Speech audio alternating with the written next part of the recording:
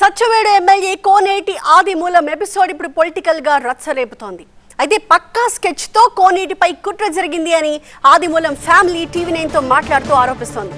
YCP నేతలు ఆడిస్తున్న డ్రామాకి కోనేటి బలైపోయారు అంటున్నారు వారు. డబ్బు కోసం ఆ మహిళ ఏమైనా చేస్తుంది? ఆ మహిళ ఆరోపణల వెనక ఎవరున్నారో తెలియాలి అంటున్నారు. త్వరలోనే నిజాలన్నీ బయటకు వస్తాయంటూ టీవీ నైన్తో మాట్లాడుతూ ఆదిమూలం కుటుంబ సభ్యులు అంటున్నారు. సచివేడ్ ఎమ్మెల్యే కోనేటి ఆదిమూలంపై లైంగిక ఆరోపణలు చేసింది ఒక మహిళ. ఎమ్మెల్యే నీచమైన పనులకు తాను బలైపోయానంటూ ఆవేదన వ్యక్తం చేసింది. బ్లాక్ మెయిల్ చేసి తనను లొంగదీసుకున్నారని కన్నీరు మున్నీరైంది. ఆయన రాసలీలకు సంబంధించిన వీడియోలు కూడా రిలీజ్ చేసింది. అయితే ఈ ఆరోపణలను తీవ్రంగా ఖండించింది కోనేటి ఫ్యామిలీ. పక్కా స్కెచ్తో పథకం ప్రకారం కోనేటిపై కుట్ర జరిగింది అంటోంది. మరింత సమాచారాన్ని మా సీనియర్ కరెస్పాండెంట్ రాజు అందిస్తారు. ఆదిమూలంపై వస్తున్నటువంటి ఆరోపణలపై మనతో మాట్లాడడానికి ఆదిమూలం భార్యతో పాటు కుటుంబ సభ్యులు కూతుళ్ళు కూడా ఉన్నారు. భార్య ఉన్నారు. అమ్మ చెప్పండి. అసలు మీ భర్తపై ఇంత పెద్ద ఆరోపణలు చేస్తున్న పరిస్థితులు వీడియోలు బయటకు వచ్చాయి. ఇది వాస్తవం అంటారా మీరు? ఇది వాస్తవం కాదు. మా భర్త మంచి ఆయన. నేను డెబ్బై తొమ్మిదిలో కడప డిస్టిక్ నుంచి నేను మ్యారేజ్ చేసినారు భీమన్ చెరువులో. ఇంతవరకు ఆయన గురించి ఏ ప్రాబ్లం రాలేదు. అట్లా జరుగుంటే నేను ఈ బిడ్డల్ని ఎట్ట బతికించుకొని అంత పెళ్ళి చేసి వీళ్ళకి నెగలేసి మేము చేసినాం. ఆయన గురించి ఏ ప్రాబ్లం లేదు సార్. నన్ను బాగా చూసుకుంటాను ఎందుకు ఎప్పుడు లేనటువంటి ఆరోపణలు లేని వీడియోలు వచ్చాయి? కుట్ర ఉండవచ్చు రాజకీయంలో ఎన్నో కుట్రాలు ఉండవచ్చు ఈయన మళ్ళీ ఎమ్మెల్యే కూడా గెలిచినారని ఒక కుట్ర ఉండొచ్చు. మనం చెప్పలేము అంతా. నేను ఇంగ్లీష్ పెట్టి బయటికి పోలేను. నాకు కొంచెం హెల్త్ బాగలేదు. నేను కూడా భీమన్ చెరువులో సర్పంచ్గా ఉన్నాను. మా గ్రామంలో అడిగి చూడండి మా ఆయన గురించి.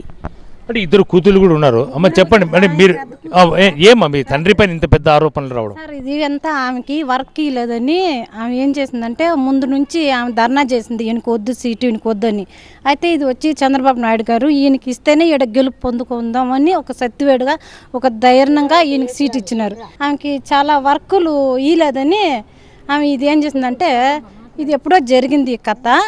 అయితే ఇప్పుడు ఈమె ప్రెస్ మీటింగ్ పెట్టింది ఏమో చెప్తా ఉంది. ఎమ్మెల్యే ఎందుకు వచ్చేది అని కూడా ఇంతకుముందు టీవీలో కూడా పెట్టినారు. ఎమ్మెల్యేతో పాటు అల్లుళ్ళు ఎందుకు వచ్చేదని.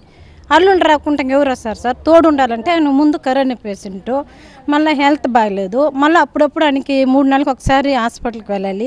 ఇలాంటి వ్యక్తిని నువ్వు ఎలా పాలప్ చేస్తావు? ఒకటిగా ఉండారని నీకు ఎలా నమ్మకం వస్తుంది? ఈయన ఎలా లొంగు చేస్తావంటే నువ్వు మూడు నెలలకు ముందు ఏం చేస్తున్నావు? అక్క నిన్ను ఒక ప్రశ్న అడతావు మూడు నెలలకు ముందు నువ్వు ఏం చేస్తున్నావు? ఇప్పుడు మాకు మాకు ప్రతి ఒక్క విషయం బయట జరిగేది ఏడు మండలాల్లో మాకు వచ్చి చెప్తారనమాట ఇది ఇక్కడ ఇది ఇక్కడ అని. అయితే నువ్వు మూడు నెలలకు ముందు ఇవి చెప్పకుండా ఇప్పుడు వచ్చి హైదరాబాద్కి వెళ్ళి ఇలాగంతా కప్పు కట్టుకొని మూ మూతి కూడా కనిపించలే. ఒట్టి కంట్లే మాత్రం కనిపిస్తూ ఉంది. ఇది వచ్చి ఇప్పుడు ఏం చెప్తుందంటే ఇలా నన్ను ఇలా చేసినారని. అదంతా అబద్ధాలు సార్. మీ తండ్రి పైన ఇంత పెద్ద ఆరోపణలు రావడము ఎప్పుడూ లేకుండా ఈ వీడియోలు బయటకు వచ్చి నన్ను వేధింపులకు గురి చేశాడు సెక్సువల్గా ఉపయోగించుకున్నాడు అని వీడియోలు బయటకు వచ్చిన తర్వాత అసలు మీ నాన్న ఇలాంటి పనులు చేసేవాడు? మా తండ్రి అలాంటి వాడు కాదు సార్. నీతి నిజాయితీ ఎప్పుడు ప్రజల మనిషి సార్. అందరితో కలిసి మెలిసి చెల్లమ్మని పోతాడు సార్. అందుకే ఆమె అలా చేసింది సార్. ఆమెకి ఏదో పదవి ఇవ్వలేదనేసి సీటు అప్పుడే ముందే ఏం చెప్పిందంటే ఆదిమూలకి సీటు వద్దు సీటు వద్దు అని చెప్పింది సార్. అయినా చంద్ర చంద్రబాబు నాయుడు సార్ గారు ఏం చేశారంటే ఆదిమూలకి ఇస్తేనే సత్యవేడులో గెలుపొందుతారని ఇచ్చినారు సార్. ఇంకొకటి ఏమన్నా పెద్దిరెడ్డి కూడా మా నాన్న పైన ఖర్చు కట్టుకున్నారు. ఎట్లా అంటే వైసీపీలో ఉంటే ఈయన గెలవడనేసి సీటు ఇవ్వకూడదనేసి ఓడిపోవాలనేసి ఎంతోమంది ఇరవై కోట్లు ఖర్చు పెట్టినాడు సార్ సత్యవేడికి ఆయన.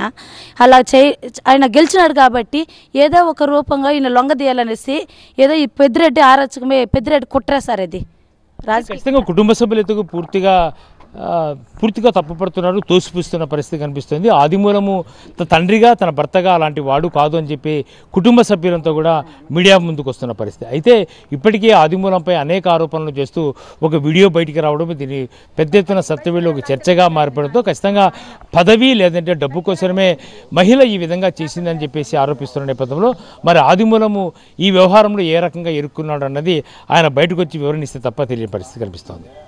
కెమెరా పర్సన్ జగదీష్తో రాజు టీవీ పుత్తూరు నుంచి.